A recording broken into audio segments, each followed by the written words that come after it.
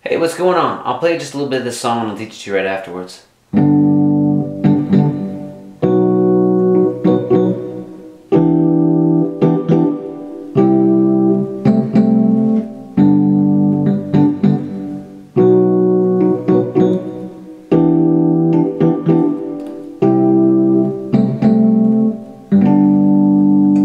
Good. So it kind of follows the same pattern over and over again throughout the whole song.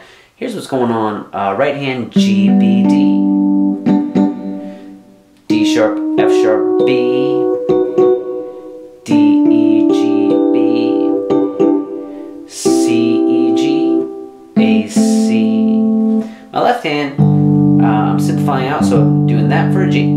For a B, I'm playing this note, that note.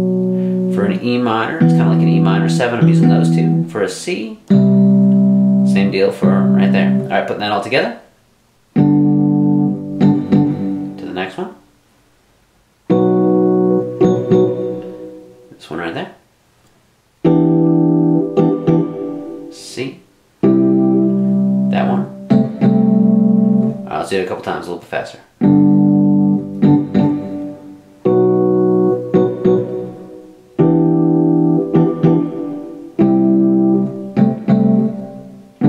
Hello, my only one. Da da da da da da da da da da da Good. So the whole song just follows that same chord progression the whole way through. Not too bad. Hope it helps, and thanks for watching. See ya.